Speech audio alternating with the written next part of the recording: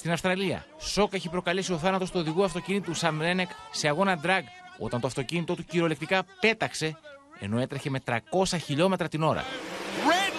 Το αυτοκίνητο φεύγει από τη διαδρομή του, χτυπάει στην προστατευτική μπάρα και καταλήγει εντελώς διαλυμένο εκτός της πίστας.